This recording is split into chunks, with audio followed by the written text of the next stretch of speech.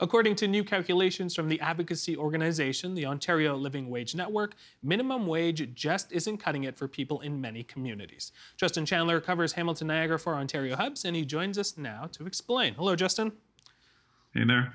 All right, so the Ontario Living Wage Network has been around since 2017, but I don't think a lot of people know what a living wage is when you compare it to a minimum wage. Break it down for us.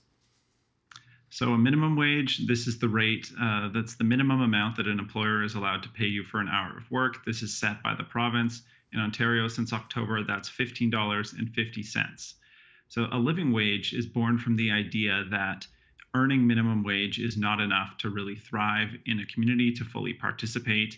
And so, it's a calculation that uh, this group does to try and show the amount that you need, not just to get by, but to to be part of a community. So to be able to you know go out to eat once in a while or uh, go out and use the bus. Um, there's a small entertainment budget. So it's it's trying to set a rate uh, that people would need to earn uh, working you know, full time in order to you know just have a little bit more than just scrape and buy on minimum wage, which is uh, unfortunately what people have to do if they're earning that rate.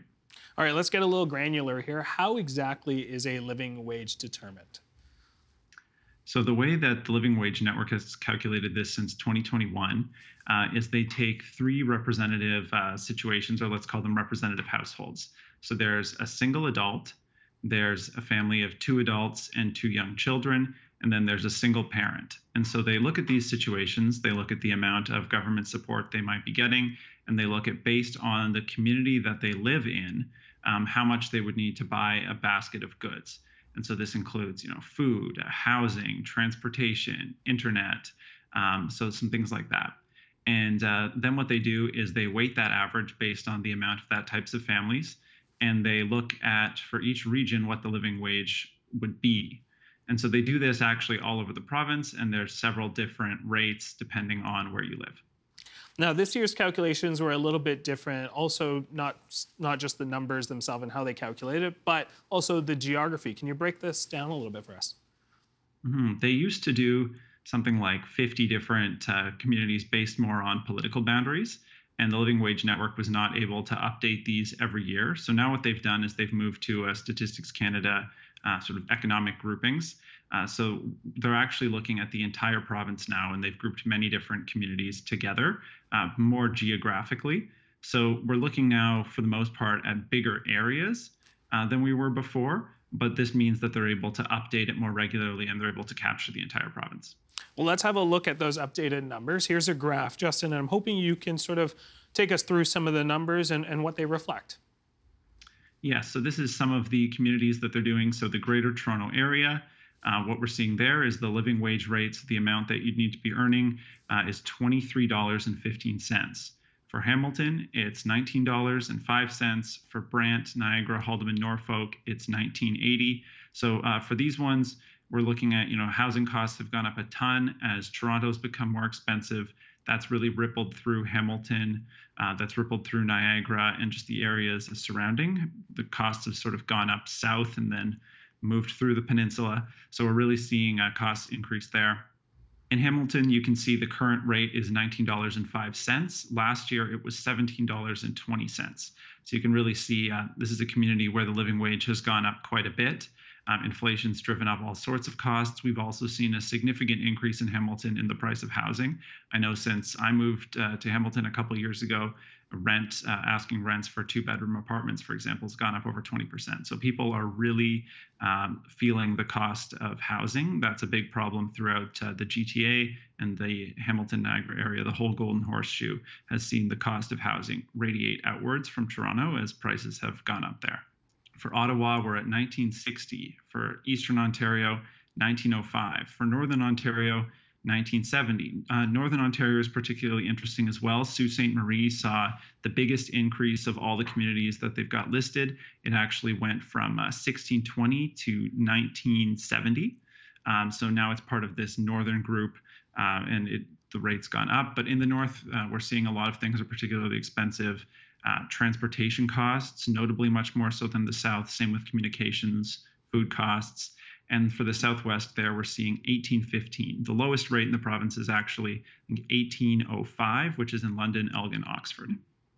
Now, Justin, I want to talk about uh, employers. There's a little bit of, we'll call it bragging rights, but the Ontario Living Wage Network certifies employers who pay their employees a living wage. Do we have an idea of how many employers actually are taking part in this initiative? So they certify about 500 employers. Um, but there could also be employers who are paying this rate who um, aren't in touch with the Living Wage Network and so therefore haven't uh, gotten this certification. Um, the network uses some funding from, I think, credit unions and from uh, members in order to run. Uh, so it, it's possible there's just people who aren't participating, um, but who are in fact paying that. All right, I know you spoke to a number of people for your article on TVO.org, and I'm curious, what did they say about what it would take for this idea to be more universal? Yeah, there's a number of things here whenever it comes to, to trying to push for wages. But one of the biggest things, at least locally, that we've seen in Hamilton is advocacy um, around cities. So trying to get uh, the city to pay a living wage, which is something that advocates have been successful with uh, to a certain degree. So it used to be that uh, not all employees in the city were at the living wage. Um, in recent years, they have been. Um, however, there it, so far advocates have been unsuccessful in getting the city to pay summer students a living wage. So that's currently a push right now. And then the goal is to get them to pay subcontractors a living wage as well. So there are municipalities that do this. The regional municipality of Waterloo is a recent example where they're paying all employees, students, and subcontractors that living wage. And the idea is that when you've got this big public employer and it's the city, um, that there's maybe some cachet to saying, you know, this is more of a living wage community now, or um, the city's going to do this, so we hope that other businesses will do the same.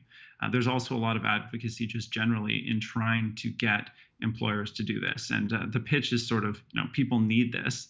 Uh, people need to be able to participate in the community, but that it's also good for the community overall. If people aren't just scraping by and they can actually afford to, you know, spend some money that they're earning, that goes back into the economy um, and that uh, that helps out everybody. That's the pitch. Justin, thank you so much for joining us on the program tonight. You take care.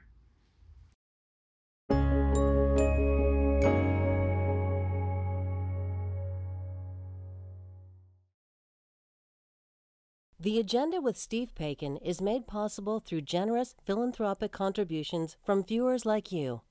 Thank you for supporting TVO's journalism.